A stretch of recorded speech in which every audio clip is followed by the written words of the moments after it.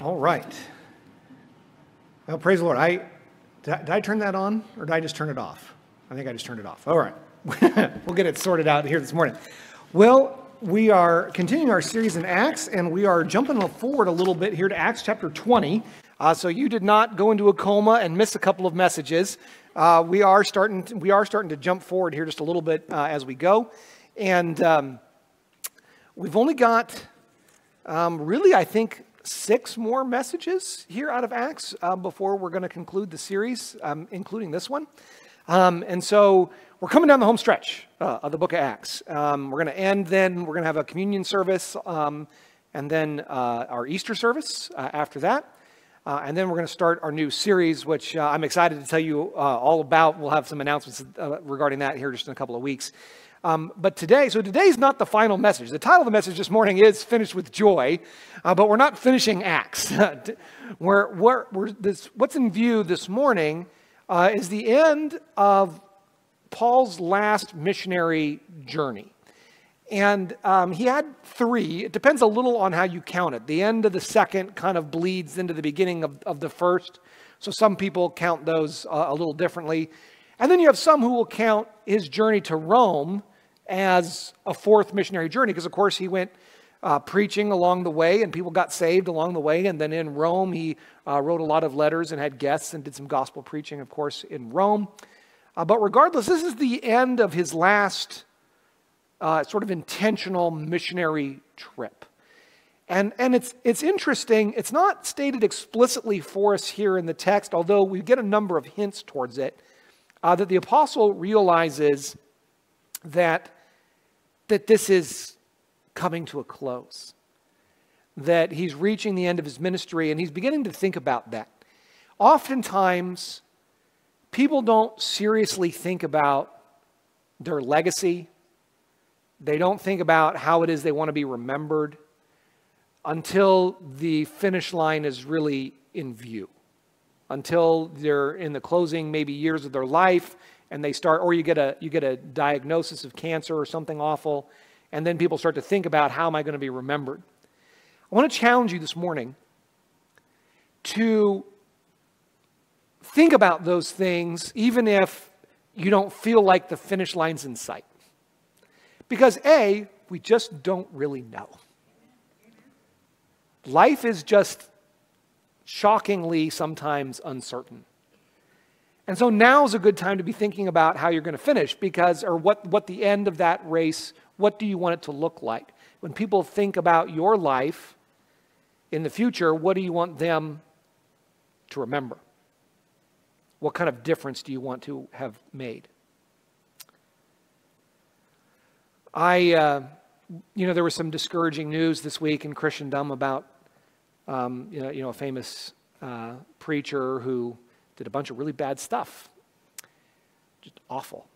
And his whole legacy's ruined now. It's all, it's all ruined. There are thousands of hours of preaching and teaching that's really excellent material, would, would really help a lot of people. I was thinking some of that stuff we could have played for our teens. We could have used some of those materials and resources, and I think it would have helped people. And we won't be able to use any of it now. It's all shipwreck and loss. And that's a sober thing to think about because, you know, he died and nobody knew all that stuff about him, and it came out afterwards. And it's still, it's, it's ruined all of it. It just makes me really sad. but it's a challenge to us to think about how are we going to be remembered? What are we leaving behind? Are we going to finish our race with joy? And so, whatever amount of time you think you have left, I want to challenge you to take this really seriously, if you would, this morning. There was a really interesting study. I, I remember um, reading about it, and it was uh, at Stanford or somebody did it, and they were they wanted to um, just sort of do this long term study. It was like a 10 year study that they did, and they got a bunch of participants of all different ages. They got, uh, they got some teenagers, and they got some young adults, and they got some people you know, in, the, in their middle ages, and then they got some elderly people. And they all agreed to the survey method where they would text them at random times, like during the week. And they, and they agreed to get like a text message every week at some random time that they would reply to right away. So that was like the study, right? So the questions that they asked these people were things like if right now you had the chance to go see this concert or go visit grandma, which would you rather do? Or if you had the chance to spend an hour with a dead relative that you never got to know, or if you'd rather go spend an hour with this celebrity, which one would you rather do? Right? And then they were collecting these results.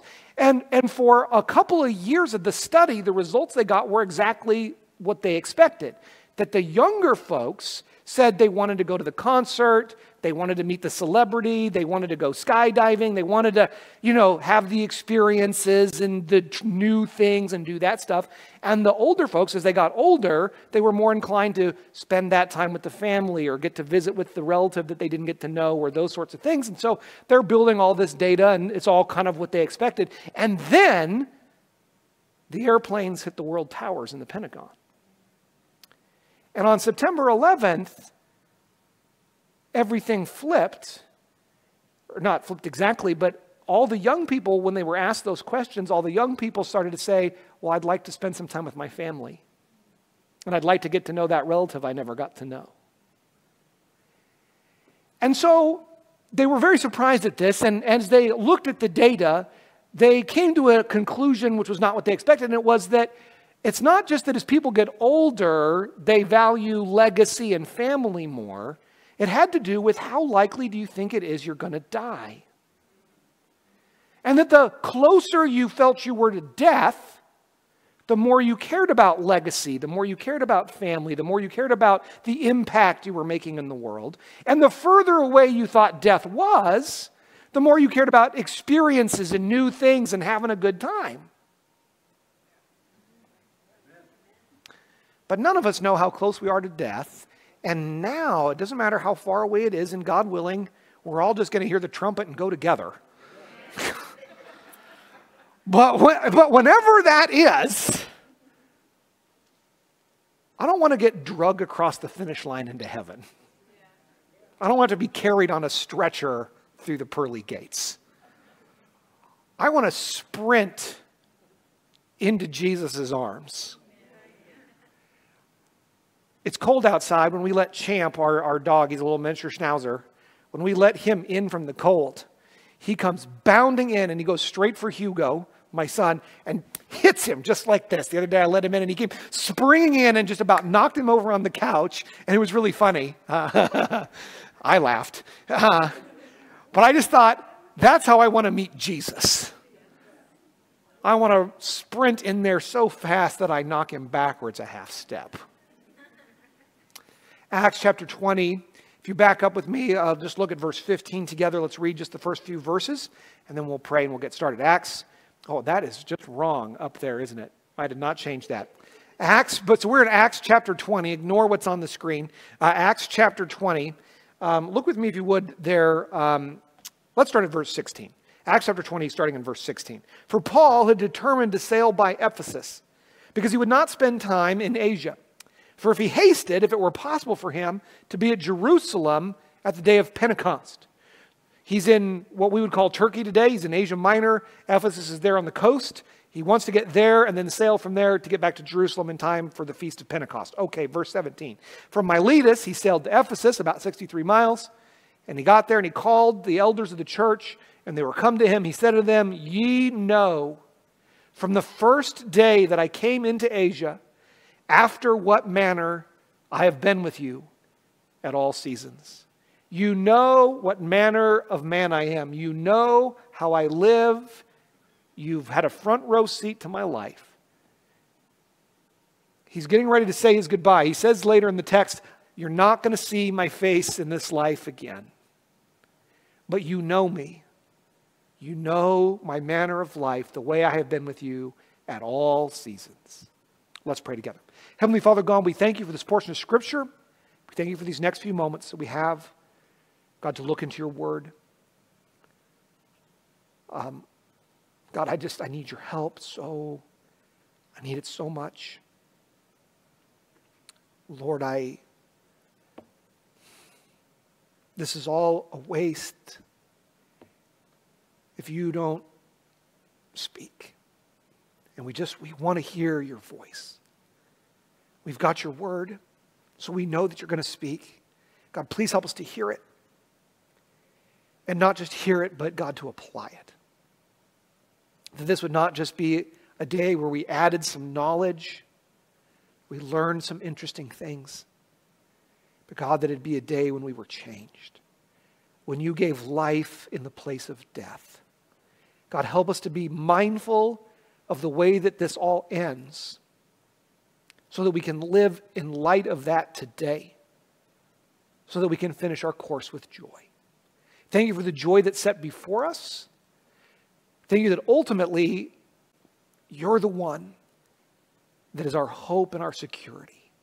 But God, we want to do a good job. We want to run a good race. Help us to follow you closely. We ask it in Jesus' name. Amen. If you've got a bulletin on your way in this morning, there are some blanks in there and some of the cross references and things that we're going to be looking at. If you'd like, you can follow along in that. If you're watching the live stream this morning, we attach this bulletin uh, to that newsletter we send out on Saturdays. You can download and print it out so you can follow along. If you're watching the live stream and you don't get the newsletter and would like to, uh, just contact us through the church website. We'd be glad to send it to you. We promise not to spam you. All right. So this morning, as we go through and fill these blanks in, uh, Acts chapter 20, verse 16, we begin here with this desire to return to Jerusalem. And Paul here is talking about the fact that, I mean, he's stopping at Ephesus. And uh, from the context, it appears that he probably spent uh, some time at Ephesus. He was there for longer than just a day. He, he spent longer than that there. We're not certain how long, but, but that's not his final destination. He's on his way to Jerusalem. And so the, the missionary journeys of Paul, his first one, we read about in Acts chapter 13 and 14, and that was a very short journey. He started in Antioch. That was our very first missionary sending church there at Antioch, uh, in today what we would call Syria and he went on a short trip through Turkey, just through a couple of cities up in there, Lystra and Derbe, and then back to Antioch to give the report. Uh, after the success of that, Paul launched on a much more ambitious missionary journey. Today we call that his second missionary journey. You read about that primarily in Acts chapter 16 through 18. From that point, because he went down to Jerusalem, they had the big controversy over circumcision and the meat offered to idols and all that. So he's down in Jerusalem for that. And from there, out of Jerusalem, he launches on the next one. Then he goes, tries to go back through Asia. The Holy Ghost says no, keeps pushing him west, west, till he hears the Macedonian call. The man of Greece says, Come over and help us. So he goes over. The gospel uh, gets to Europe uh, and reaches really the Gentiles in a capital G sort of way. From there, he goes back to Jerusalem and then back to his home base in Antioch, which is where the third missionary journey begins. Here's a map uh, of that. The third missionary journey, which is really in Acts 18 and 20. So we're catching the end of the third missionary journey here. So from Antioch, he goes up to Ephesus. That's one of the first places he went. Then from Ephesus, sailed over to Thessalonica. From Thessalonica down to Corinth. And then from Corinth back up to Thessalonica. Then over to Philippi, which is sort of cut off on the screen there. And then back down to Ephesus. And that's where we're at now. Ephesus, and he's getting ready to go from Ephesus down to Jerusalem where he wants to get in time for Pentecost. And this is significant because on this, this third missionary journey of his, he's going to hit a couple of these key churches. If you recognize those names, it's either because you're paid really good attention in geography or you recognize those names from your Bible. Uh, these are some of the major churches that are later going to get letters written to them that are now in our New Testament, letters that were inspired by the Holy Spirit of God. Paul understand this, certainly wrote many, many letters. But a few of them were directly inspired by the Holy Spirit of God, where God gave him not just the ideas, not just the thoughts, but the very words that he wanted written down. And he wrote those. But those letters were initially, even though they're the direct words of God, were directly initially to these specific churches. And so that's kind of a cool thing. So he's going through and he's visiting these, and then for some of them, some of these letters he maybe wrote at Ephesus, and the rest of them he wrote from prison in Rome to those churches. Okay. So Paul apparently here has some idea by the Holy Spirit about the trouble that's about to befall him at Jerusalem. Which is true. We, we know the benefit of hindsight. When he arrives in Jerusalem for Pentecost, they're going to arrest him, they're going to accuse him of a lot of things, and they're going to put him in chains and send him to Rome. And it's going to be a harrowing journey to Rome. They're robbers, and the ship's going to sink, and poisonous snakes, and we'll get to some of that in the next couple uh, of messages. But even though he knows that this is true, he has, or at least he has some sense of this, I just want you to note here in verse 16 it says, For he hasted. He was still, even though he understands that this is the kind of the end, it's winding down, he knows that God wants him to go to Jerusalem. And even though that's kind of the end, he's not dragging his feet. He's hasting to go. Next, we see the local church elders in verse 17. If you'll look at that with me, it says, And from Miletus he sent to Ephesus, and he called the elders of the church. So he gets to Ephesus and he calls the elders. Now, we've been talking about elders some here at church a little bit lately uh, since uh, we ordained uh, Pastor Farouk as an elder of the church. And we kind of tried to explain a little bit about what that is. You know, the elders, um, you know, past, uh, all elders pretty much are pastors not all pastors are elders. Uh, an elder is an extra layer of responsibility. They have some ownership and responsibility for the running of the church beyond just feeding the flock, beyond just, you know, teaching and preaching. Now they have some responsibility for the oversight of what's going on. And we'll see some of that actually in the text here this morning. Some of the reason we believe that about elders is right here actually in Acts in our text in just a moment. But I, but the thing I want to highlight first about this is that when he gets there, he calls the elders of the church. They didn't have to send to another city to get the elders of the church. When Paul got to Ephesus and called for the elders of the church, they didn't have to say, Well, give us a couple weeks while we go get the guys from Jerusalem or from Antioch or from Philippi or Corinth or anywhere else. Where were the elders of the church? They were at Ephesus. That's not a coincidence. The, the elders belong to a local church. Now, this is in Christendom a little bit controversial. Not all Christians believe this, but I would just like you to see that if here in our text it's very plain, and if you'll study your Bibles in Acts, it's very clear, and I believe in the entire New Testament, if you look at it carefully, you'll see that every church has its own elders. That the, that the, the authority for each church is present in that church. And so this is the thing where, where some churches today, larger denominations, the, the final authority for that church is not local in that church. There's, there's a hierarchy where the pastor, maybe of the local church, reports to somebody with a different title that's in charge of a region. And that guy who's in charge of that region then has to report to somebody who's maybe over that country. And then, you know, in the case of, like, for example, the Catholic Church, not only is there somebody over, you know, there's the local guy, there's the regional guy, there's the national guy, then there's the guy at Rome who's, over, who's responsible for that entire area, right? Y'all with me on that? But other denominations have varying degrees of that also. And I just want, I just want to say to you this morning, you just don't see that in the scriptures. Paul goes, calls for the elders of the church, they're right there. They're all local churches. That's one of the reasons at Spokane Baptist we we, we don't even belong to any Baptist denominations. This is it. This, there's, it, goes from the elders that are here straight to Jesus, and that's it. That's, that's the extent of the flow chart. And, and, I, and, I, and I, I've actually had an opportunity just yesterday to, to use this. And one of the reasons I want to talk to you about this is not to be divisive or mean. It's this actually, there's kind of a neat soul winning opportunity that I got just yesterday uh, out of this.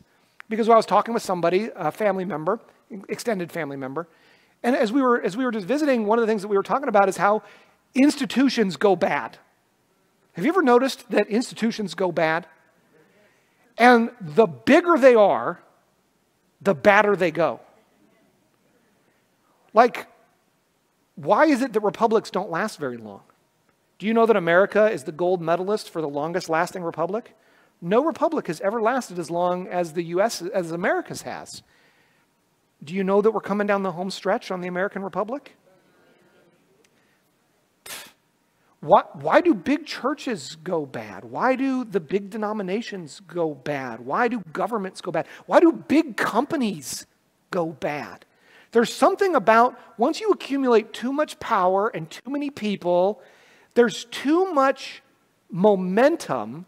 People start justifying bad things to try to save the institution. And they say, but look at all the people it'll hurt if this comes out. And so they cover stuff up. And some of those people, listen, I want to say to you this morning, some of that instinct, I understand it. I, am not just here to hate on them. That, that, that instinct of, but it's going to hurt so many people, like I understand that instinct. But it's bad. Lies are always destructive. Church, hear me. Lying kills. We, we have to live in truth. We have to live in the light. We have to if we want to be followers of Jesus Christ. You have to live in the light. So, one of the cool things about having a very flat power structure and having, having something that's not a big institution is that if it goes bad, it'll burn to the ground. And that's what you want to happen. As human beings, we have this idea that, well, we want the institution to survive even if things have gone wrong. No, no, you, you really don't. You want, it, you want it to get smashed into pieces and somebody to come build something better in its place. Listen, if this church goes bad, I don't want to be able to make the mortgage payments. Let's leave the building to somebody that's still going to preach a clean gospel of Jesus Christ. If this is not a gospel preaching church anymore, then what are we paying the electric bill for? Do you understand? If the gospel goes out, if the Spirit of God departs, let it die.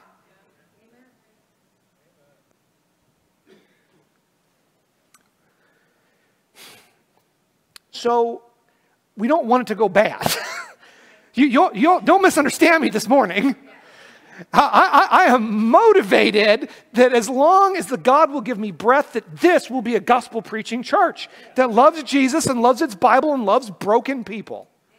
And, and as much as we can, we're going to try to pass that on to the next generation. Whoever the next set of elders are, if the trumpet doesn't blow, come quickly, Jesus. But if the trumpet doesn't blow, then whoever takes over, I want them to be a gospel preacher that loves Jesus and loves their Bible and loves broken people. But if that for some reason stops being the case, then close it down.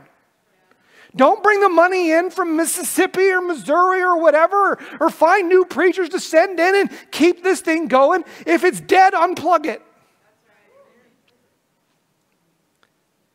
Whew, that wasn't really in my notes. But listen, I'm telling you, when you're talking to people, when you're this is a soul winning thing. Listen, if you're a member of this church, if you're a part of the church family here, and you're and people want to talk to you about like the awful things that some Christians have done, you tell them, yeah, we know that Christians can go bad and Christian institutions can go bad. That's why at our church, our pastor says, we don't want money or connections to anywhere else because we want it to fail if it goes bad. And that's what I got to talk to this person about is like, hey, if it goes bad, we want it to go away. And they were kind of like, right? Because the world is interested in power and in keeping things going and keeping up appearances. As Christians, we ought to be interested in the truth. That was all extra this morning. No charge for that extra preaching. All right. So in verse 18 and 21, we find Paul's ministry testimony. I'll get back on target here. Uh, Acts 20, 18 to 20, Paul is going to talk about his testimony. And uh, one of the things, one of the things I love the best about those ladies' luncheons that they're doing is having some of those ladies share their testimonies. They have been powerful. Uh, I heard great things about the testimonies that got shared on Saturday. They record them. Listen, ladies, if you missed it, if you're still social distancing, you can't come to those things. They're recorded. They're available on YouTube, right? I mean, we'd probably have to send you the link. You got to get the link. So, ladies, don't panic. Um, you're, not, you're, not, you're not famous yet. Uh, but so listen, if you missed it and you want to and you want to hear those testimonies, ladies, or, or, I mean, like they've been a blessing to me. I've watched the past ones. I just got started on Virginia's, and that's all the. I made it about ten seconds into Virginia's. That's all the further I made it. Um, but I heard great things about both of them. Thank you, ladies, Robin, Virginia, for sharing. If you want those testimonies, are powerful. They're powerful because they get to you get to hear somebody's story. Because a lot of times you just see the turtle up on top of the fence post and you know it didn't get there by itself. It's exciting to hear how that happened. And so Paul is rehearsing some of that. He's thinking about his testimony here as he comes down the home stretch. Look at verse 18. And when they were come to him, so here come the elders, and they were come to them, he said to them, You know from the first day that I came to Asia, after what manner I've been with you at all seasons. I mean, it's been years now from the first missionary journey through this region in Asia, through the second journey, now here on his third journey. He's already been in Ephesus, he's traveled around, now he's come back. This is at least his third or fourth visit to the city. They have seen Paul in many different circumstances. He says, You know me. And the thing that he highlights, first of all, about this is his consistency and reliability. Now, he's not bragging here, he's, he's setting the table for them about what it takes to have a good testimony. And that's what I want us to try to understand from the Apostle Paul as we look at his testimony this morning, that we understand from his life and how that can apply to our lives, what does it take to finish with joy? what kind of testimony do we want to have? And he starts out with the consistency and the reliability of it. From the first day I came to Asia, and now here he is in his last day in Asia, and he's been there in all kinds of seasons, not just in fair weather, not just during the good times, but during the hard times too. Some of the time he spent in Asia, he spent being left for dead outside of cities. He spent it in the stocks, in prison at midnight.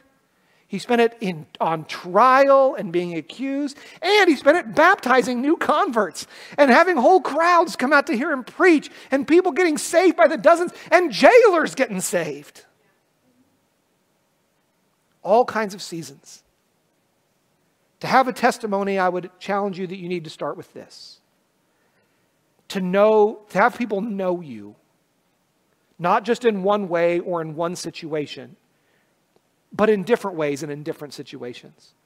Part of the reason Christian fellowship is so important is that we not just know each other on Sunday mornings, but that we know each other in other circumstances and other contexts.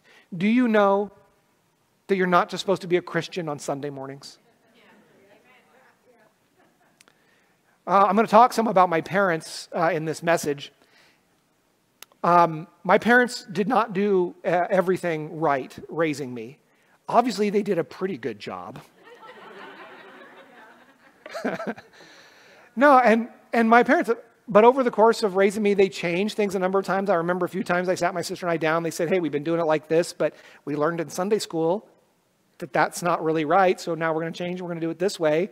And my sister and I were like, where like you know you don't really have any frame of reference for that sort of thing as a kid. You know you don't realize how weird that is uh, until you're older. But one of the things that i always say when i talk about my parents is this. They were the same people on sunday morning at church as they were on thursday afternoons at home. It was the same. I uh, hurt my shoulder and i had to go see a guy and he's working on my shoulder. And uh, we got to talking about jesus because you know how i is. And uh, and, and he said, Yeah, I grew up in a Christian home, but my parents were different people at church than they were at home. And that was sort of the end of that. Do you know how sad that is? I mean, he was around, I assume, gospel. I mean, I don't know what kind of church it was, but the hypocrisy of his parents ruined that for him, that opportunity that he had, those lessons he was learning in Sunday school, because kids will do this. And some of you I know, some of you I know have this exact experience. Listen, if, you, if mom and dad are a hypocrite, what's, that kid will just figure the pastor's the same way. That, oh yeah, he's nice at church, but I'll bet he yells and screams and throws things at home too.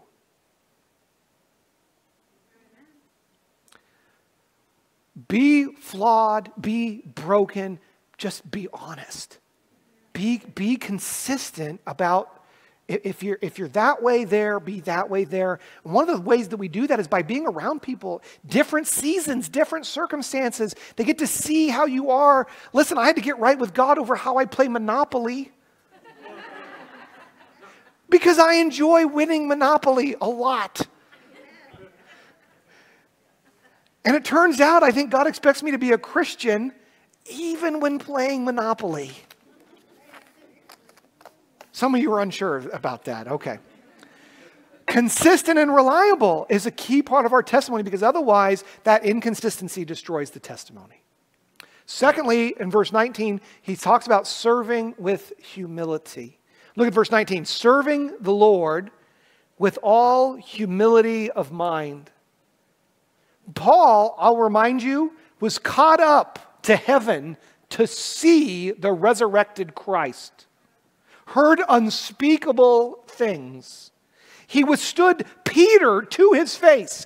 This is the guy who was bold enough to go to Jerusalem and to say to Peter to his face, You done messed up. This is the guy who was thrown into prisons for throwing demons out of girls who, who, who whipped mobs into frenzies, not intentionally, but by preaching the gospel to them, who when hauled into court to put, put on trial for his life said, I want to tell you about Jesus. I mean, this is Paul. But the way that he served was not as the guy who had planted the most churches in Asia the way he served and the way he interacted with people was one who was a servant with humility of mind. Now, if he said this to the Ephesus elders and it wasn't true, they would have known that that's not him.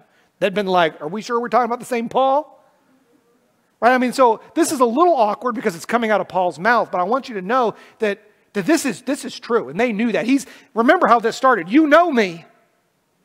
You know that I serve humbly. There was no job that was too humble for Paul to do. When they, when they ran short of funds, he made tents to sell them. He didn't say, Well, I'm too good for that. I, I'm, I'm the preacher. Somebody else go earn some money. He went to work. I'm just telling you, there's no such thing as a pastor or an elder who's too good to clean a toilet. There's no such thing. Some of them think they're too good for that, and they are badly mistaken. Serving with humility is his testimony. He wasn't there as a lord over the churches, he was there to serve. It reminds me of Jesus. Verse 19, the second part of it, he says, Serving the Lord with all humility of mind and with many tears and temptations, which befell me by the lying in wait of the Jews. You recall that up to this point, most of the persecution has come from God's own people, from, from the Jewish people. But he says here, with many tears and temptations, with tears and trials. Now, the word temptation there is uh, uh, and it means a trial or a proving. Most often in the Bible, when we read about temptations, we're talking about the temptation of sin. It's the same word, peirasmos. It's the same word, the temptation to sin. But if you, but if you look at that word, you'll see that mostly it has not to do with sin, it has to do with testing, with proving something out. And so the word is used to describe, like, you know, the, like when the devil tempted Christ in the wilderness, it's the same word. But sometimes it just refers to times of difficulty. And I think that's primarily the sense here that Paul is speaking here with his tears and his temptations. Now, say amen. Of course, Paul faced lots of temptations to sin. Of course, of course he did. But he also just went through just trial after trial where the temptation was maybe not to like sin in some sort of gross way as much as it was to just quit, to just lay down, curl up into a ball, and be done. That's what he's talking about here tears and trials. That's an interesting thing to get into your testimony. Generally, when the world wants to say, like if you get onto any website and you look at their board of directors or their CEO or whatever, you know, the people that are like up front, you know, and they, they want to tell you about them, you get their, their biography, their testimony, kind of, if you will. it's all good stuff. Or, or if there's something bad, they just want to tell you about that so that you can see how they overcame that. But here, Paul's talking about all his tears and temptations. We generally wish for fewer tears. When we pray, we ask God for fewer trials. But to the Apostle Paul, these were the key marks of his testimony. He was not in this Christian thing for comfort. He did not do this to earn money or to become famous. It was an enormously costly road that he walked, but it was still worth it. But a mark of it was the tears and the trials. When you think about your testimony, how important are the tears and the trials? We like the triumphant parts.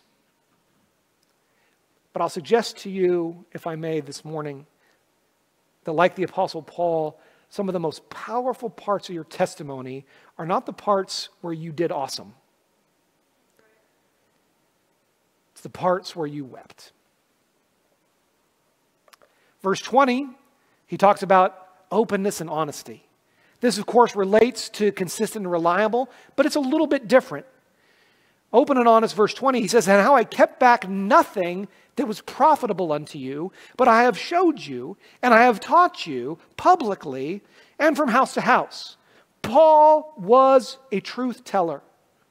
Elder John brought such a powerful message uh, last Wednesday on living not by lies and just how important in an era where people don't even believe in truth anymore as it is Christians that we live by the truth, that we believe in it, that we speak it, and that we live that way. We are surrounded by lies. There's so much falsity. We've got to be truth tellers. It doesn't mean mean, but it does mean open and it does mean honest. Paul told the truth. He told the truth about God, he told the truth about himself, he told the truth about human nature. The truth telling got him beaten, it got him thrown in prison, it got him tossed out of cities. But he still told the truth publicly. Isn't that wonderful? I mean, he faced incredible consequences for telling the truth publicly, that you could be forgiven for thinking, I'll keep telling the truth, I'm just going to do it quieter.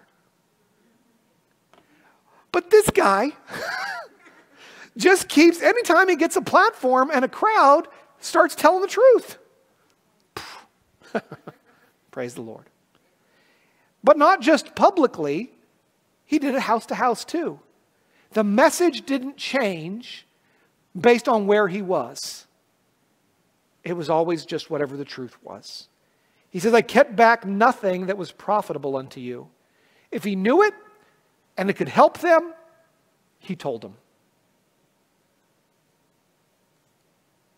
Verse 21, we see that his message was also impartial. He had an impartial message of repentance and faith. Look at verse 21. He says, testifying both to the Jews and also to the Greeks, repentance toward God and faith toward our Lord Jesus Christ. That's not just Christian boilerplate here. This is really important stuff. He's saying, I testified the same message to the Jews that I gave to the Greeks. That was still controversial in some circles. There was the idea that we had like this message for the Jews, maybe, and this message for the Gentiles. Paul said, I got the same message for everybody. I'm not playing favorites. We'll tell everybody the same old gospel truths. Today, the way that we might think about this is that we don't have one message for the rich and one for the poor. We don't have one for the people that live in the country and one for the big city people. One for the cosmopolitans and one for the Hicks. It's the same message.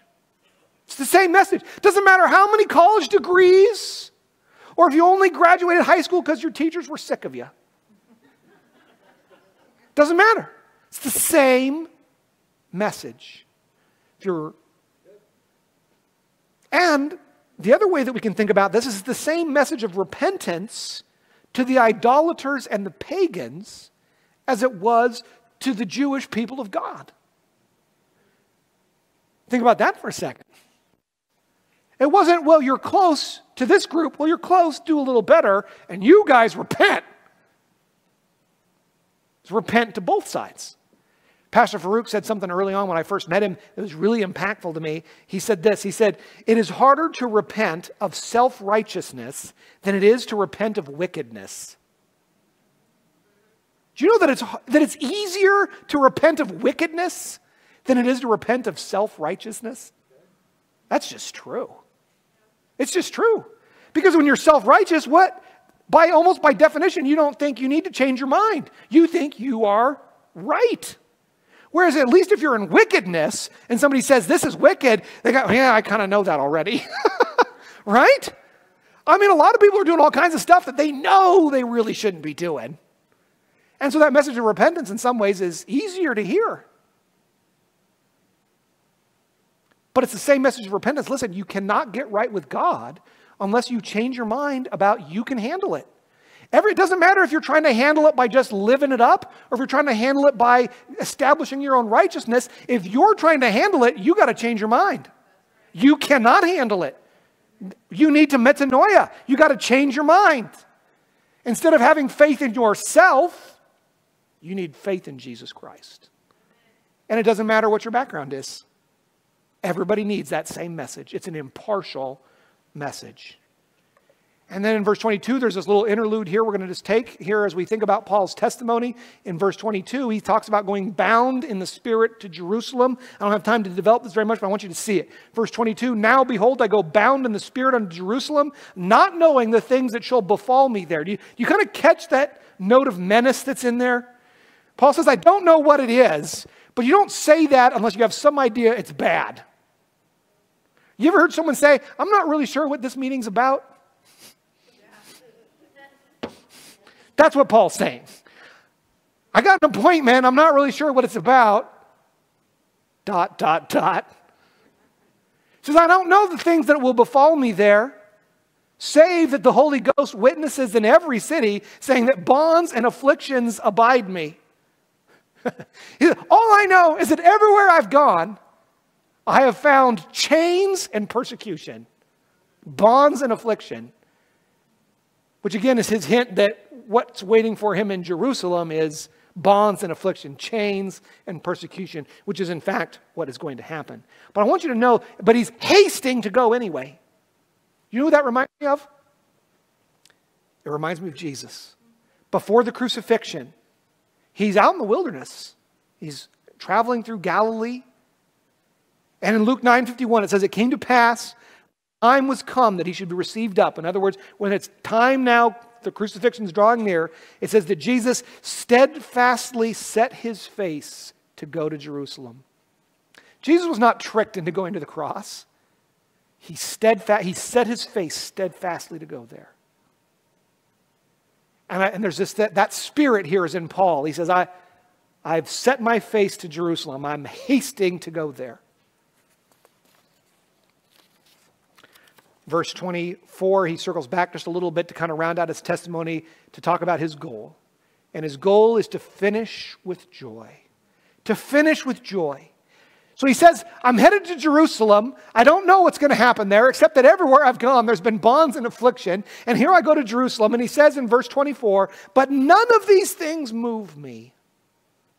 Neither count I my life dear unto myself, so that I might finish my course with joy and the ministry which I have received of the Lord Jesus to testify the gospel of the grace of God. He says, I, I may lose my life here, but that's okay. My goal is not to live a long time. My goal is to finish with joy. Do you see the distinction? Christian, what, what is it that motivates you? Is it to extend this life as long as possible, or is it to finish with joy? Because finishing with joy, it might be better sooner rather than later. We talk about that with Pastor Asbury, Pastor Tom, who established this church. Uh, I, listen, I'm not, I am grieved still, like he, he abandoned me here. and I was not ready for him to go. But he, but he went out on top of his game. He'd just come back from spiritual leadership conference, investing in me and in, and a number of you here in the next generation. He was preaching, he was teaching, he was discipling. He, he got home and sent out some counseling emails and spent some time with his wife, got his horse in the horse trailer, and was headed up to Mount Spokane. He'd go ride his horse around on Mount Spokane and pray. And he was on his way to go on the mountain to pray with God when God said, Come up higher and let's talk face to face this time. I mean, how are you going to do better than that at the end? On your way up the mountain anyway. I mean, woo! Right? And the horse was fine, by the way. Sometimes I tell that story, I forget to. I'm just telling you, the goal is not to just live a long time, the goal is to finish with joy.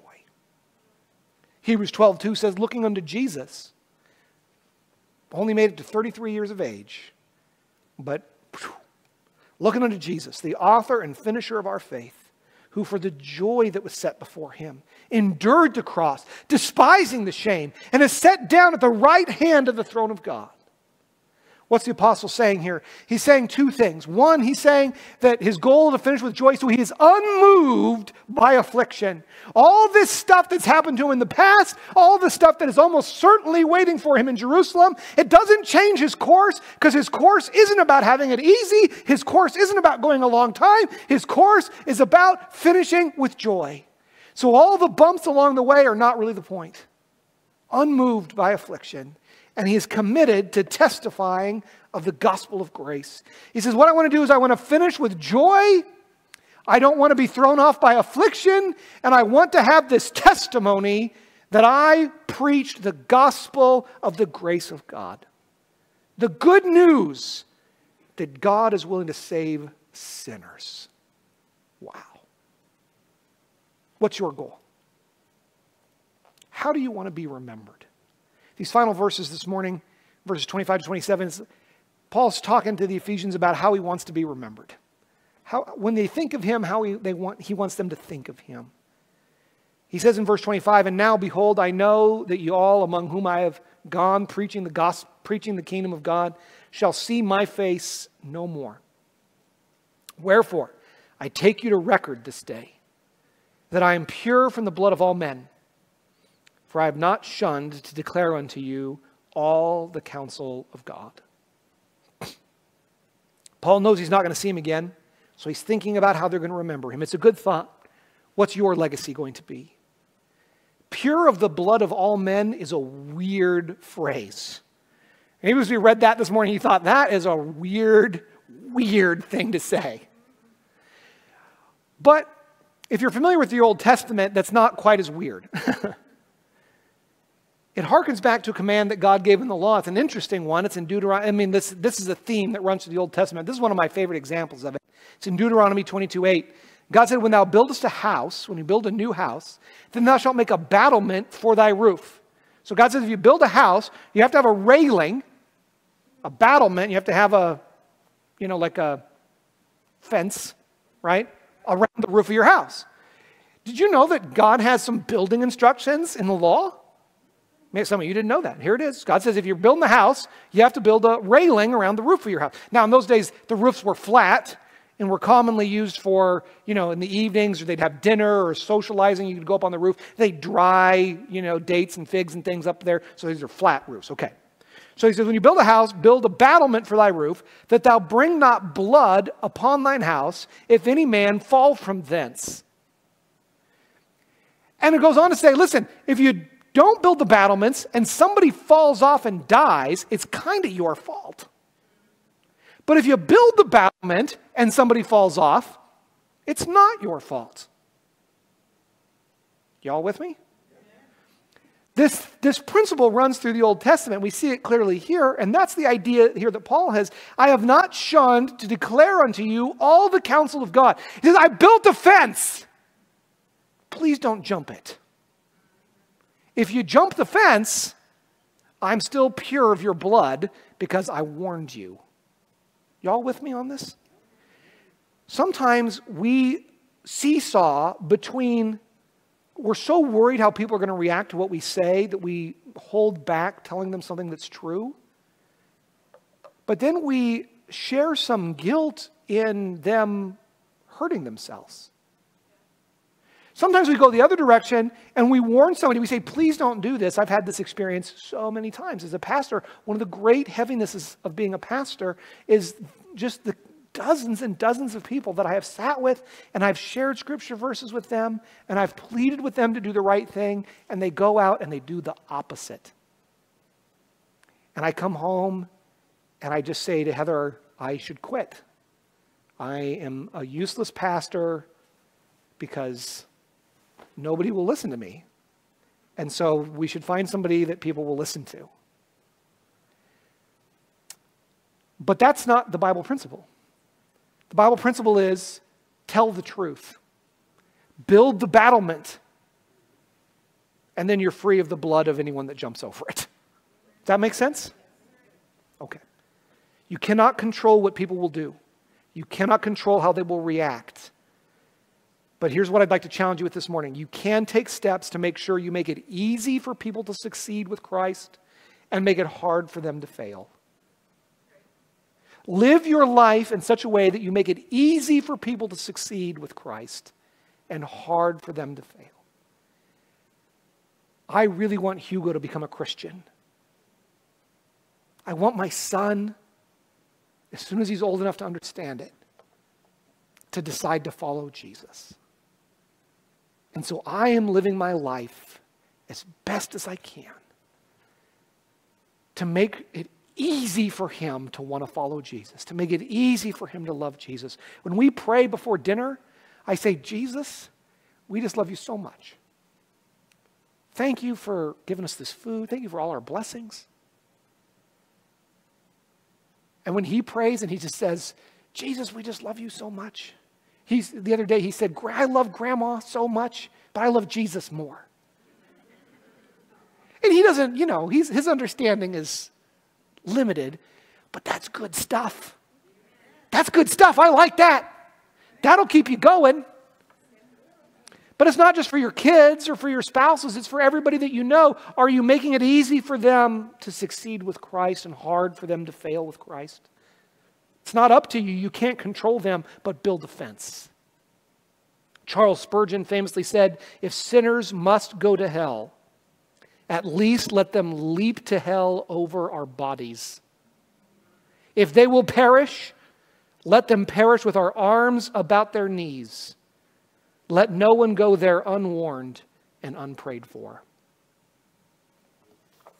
I don't have time to preach the charge to the elders. So the last thing he does is he gives this charge to the elders. What he wants the elders of the church to do, he says, oversee the flock, feed the flock that's there, remember who the owner really is.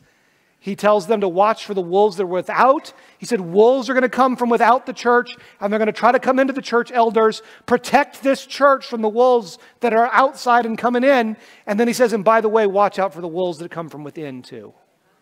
There's wolves that are going to come from inside the walls of the church. Watch out for them, elders. And then he says, Cling to God and his word. How are you going to survive all the wolves? Get a grip on your Bible and on Jesus and do not let go. Okay. Let's make some application here. Uh, we got a baptism after the service. I'm super excited about that. So I got to get done preaching before the water gets cold. Faraz will love it. I, I, try to tell, I try to tell the teens the colder the water is, the more spiritual it is. Uh, um, all right, so we're so here's the upside down. Well, let's, let's talk about the upside down values, the right side up, and then we'll be done. The upside down part of this is aiming for an easy life. So many people are aiming to have an easy life. The goal is easy. And that's not a good goal. It's upside down. Now, you don't want to make things hard on purpose. Somebody say amen to that. Please don't make things hard on purpose. things are plenty hard anyway. Have you noticed that? Life's plenty hard anyway. But if you're trying for comfort, you are going to be continually disappointed. Because comfort is not reliable, and even if you can get comfortable briefly, it won't really make you happy anyway. Comfort, number one, is it's just unreliable. Comfort is very unreliable. It just doesn't last. You ever tried to get comfortable in bed and notice that is true? The only time I have ever been truly perfectly comfortable in bed is immediately after my alarm has gone off. you, exactly the right temperature, exactly in the perfect position,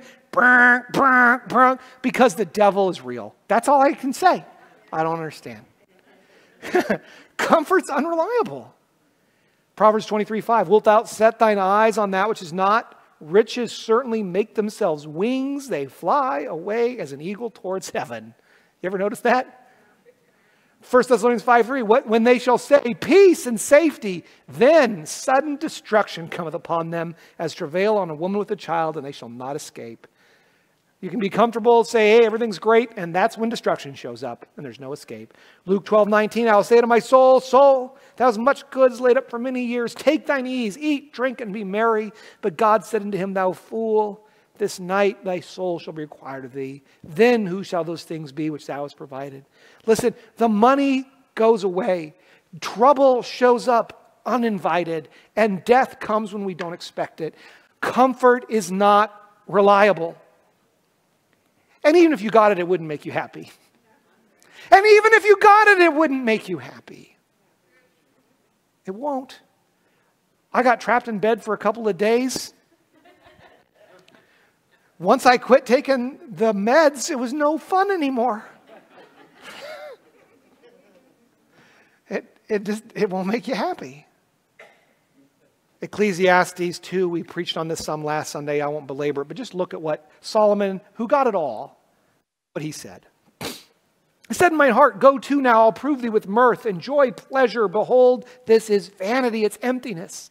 I made great works. I builded me houses, I planted me vineyards, I made gardens and orchards, and I planted trees in them of all kinds of fruit. I got me servants and maidens, and had servants born in my house, and I had great possessions. I gathered silver and gold, the peculiar treasure of kings and of the provinces. I got me men singers and women singers, and all the delights of the sons of men, and whatsoever my eyes desired. I kept not from them. Then I looked on all the works of my hands had wrought, and all the labor that I labored to do, and behold, all was vanity, emptiness, vexation of spirit.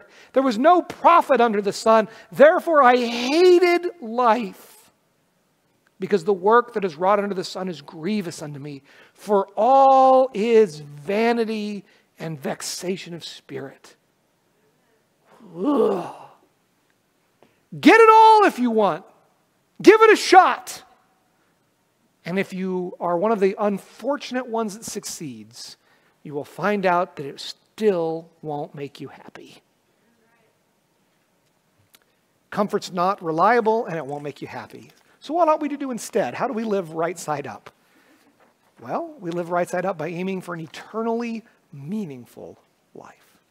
Instead of wanting things to be easy, instead of wanting them to be comfortable, we ought to have our hearts set on it being meaningful. And not just meaningful, but eternally meaningful. How are you going to be remembered? What's the legacy that you're going to leave behind? What does God see when He looks at your life? What's the final report going to say from Jesus? We're going to run quickly through all the same things that Paul said about Him and we're just going to see what the scripture says is applying it to us. An eternally meaningful life is one that's consistent and that's reliable. Matthew 25, 21, the, the highest commendation. His Lord said unto him, Well done, thou good and faithful servant. Thou hast been faithful over a few things. I will make thee ruler over many things. Enter thou into the joy of thy Lord. Christian, the highest commendation that we are going to receive from Christ, you want an eternally meaningful life? The thing that Jesus is looking for is not the preachers necessarily. It's not the people that gave X amount of money or did this job or did that job. He's looking for the ones that were consistent and reliable. What's the message to his servant? Well done, thou good and faithful. The faithfulness is what gets praised. It's not what he accomplished, it's just the faithfulness in doing it. All of our gifts are different. We all have different abilities. But what Jesus is looking for is not ability as much as it is just faithfulness, consistent and reliable. You could be consistent and reliable. And then enter into the joy of the Lord. Second is serve with humility. We all think we want to serve some great thing, do some big thing. But the thing that matters is not being recognized, it's serving. And it's doing it just humbly. Just serving humbly. 1 Peter 5 5 says it like this Yea, all of you be subject one to another, be clothed with humility. For God resisteth the proud, but he giveth grace to the humble. How do we treat other people? The boss says be subject to them.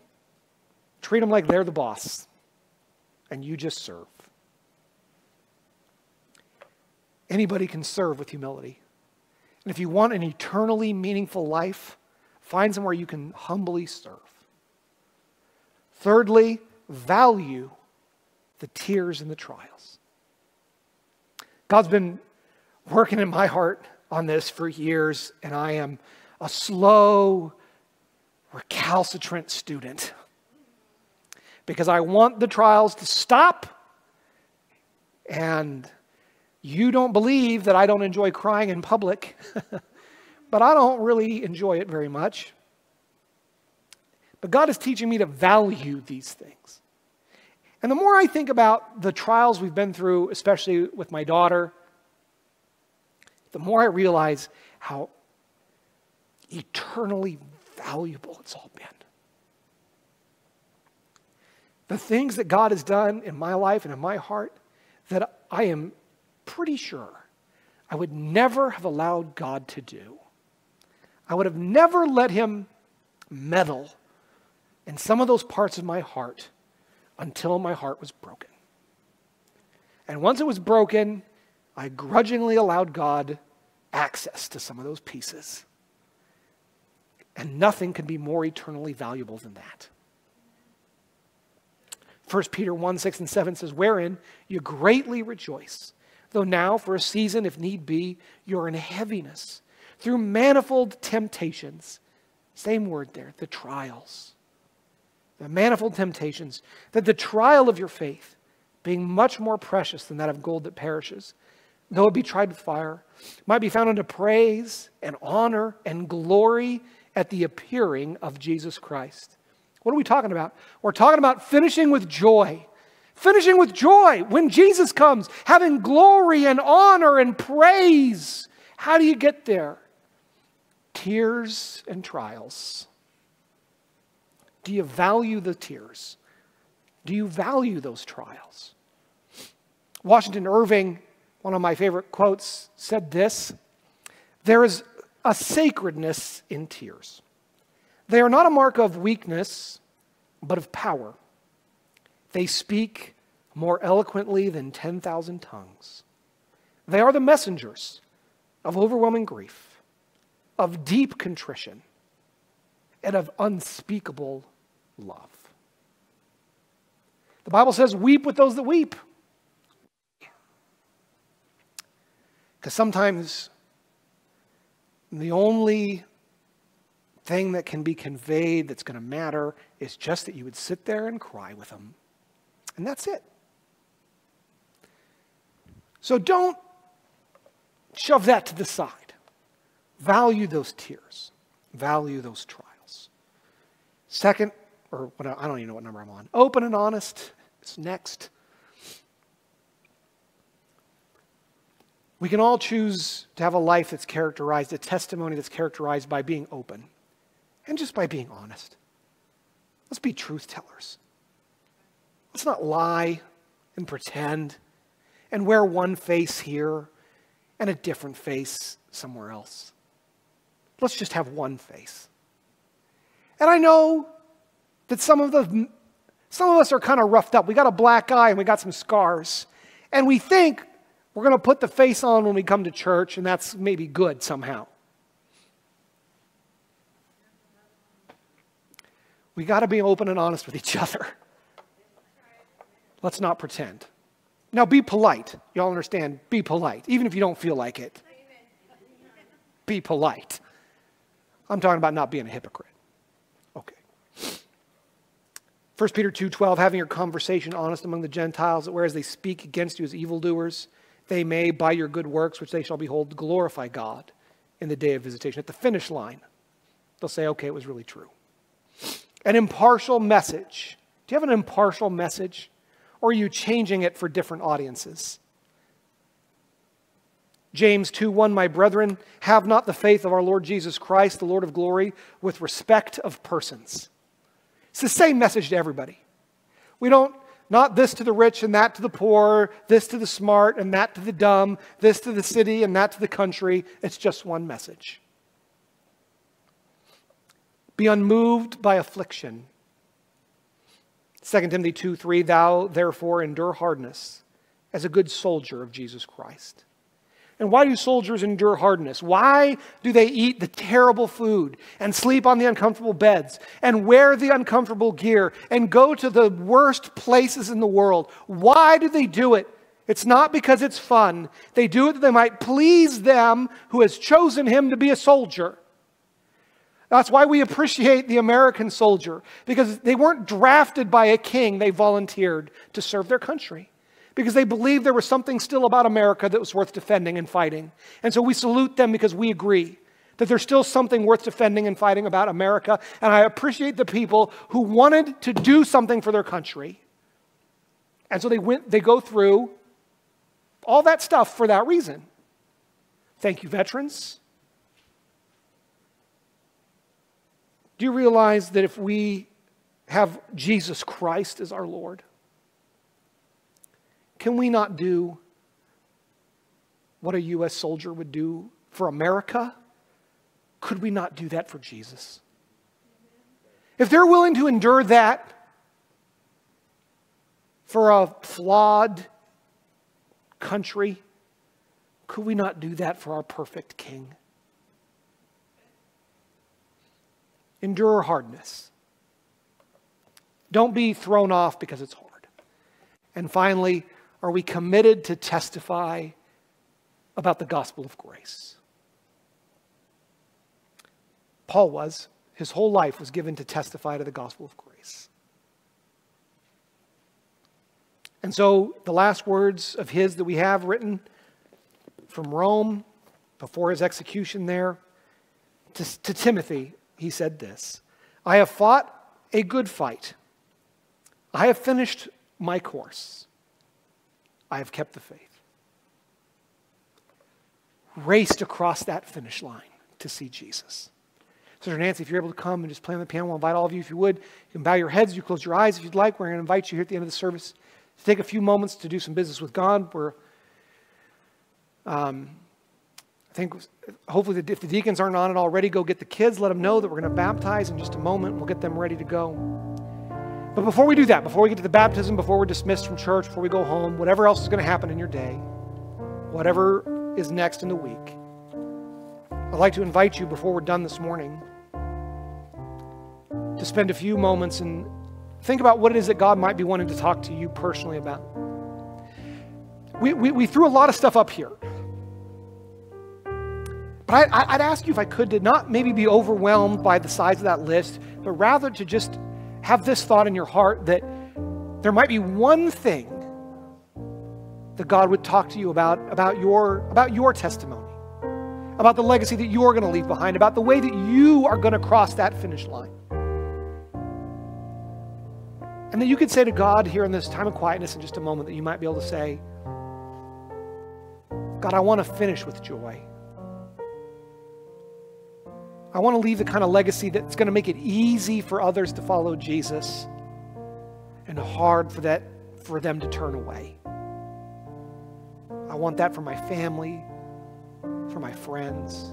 I want to make it easy because of my life to follow him.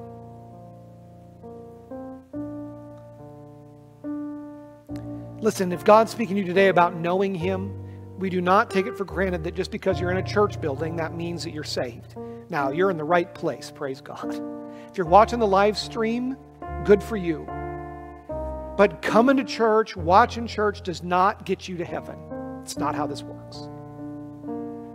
The only way to heaven is through the blood of Jesus Christ. Are you sure that you're saved? Do you know for sure that heaven's your home? If you don't, you can know that for sure. You can be 100% sure.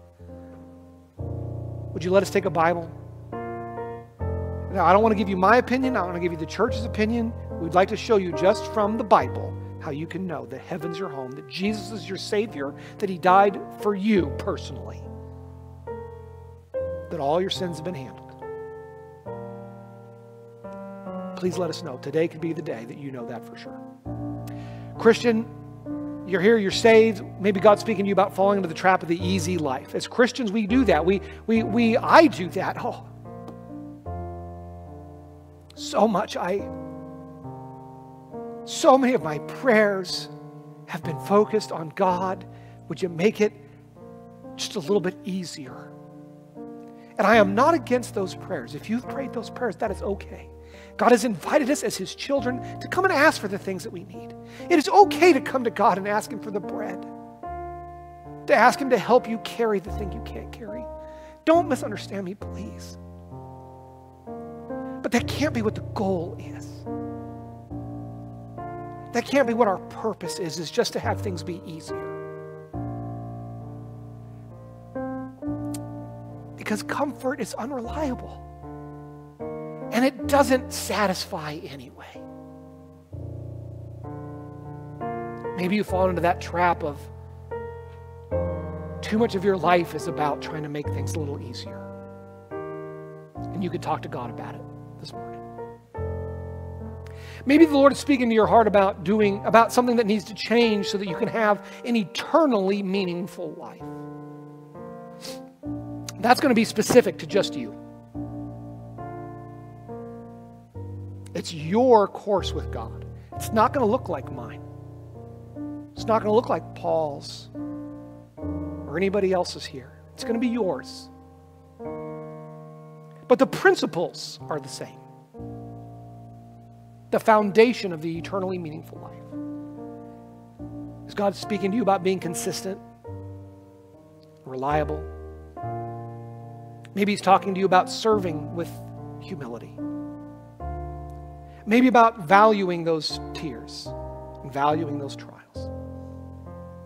Maybe it's about being open and honest, not being partial, being unmoved by affliction. Maybe there's a storm that's trying to knock you off course. Maybe it's just about being committed to testify the gospel of grace. Whatever it is, you do business with the Lord. We're going to sing a verse or two in just a moment and then baptize uh, for Raz. But you take this minute with just you and God and do some business with Him.